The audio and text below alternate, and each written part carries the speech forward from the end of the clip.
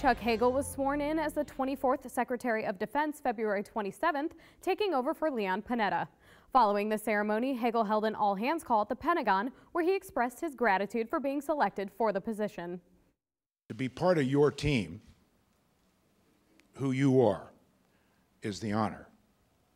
That's the great privilege. Uh, you're not joining my team, I'm joining your team.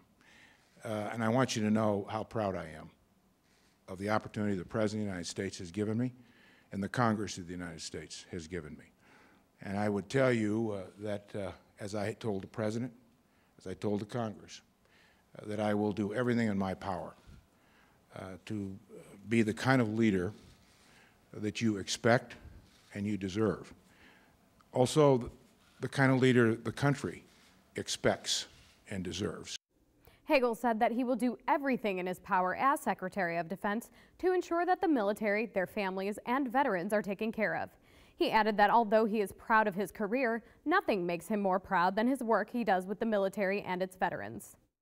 Much of my life uh, has been about uh, doing everything I could in some way to help veterans and their families, whether it was chairing the Agent Orange payment program or whatever it was. And I'm proud of that.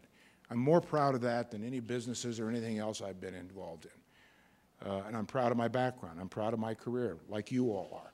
But nothing makes me prouder, has ever made me prouder, than my association with the military and the veterans.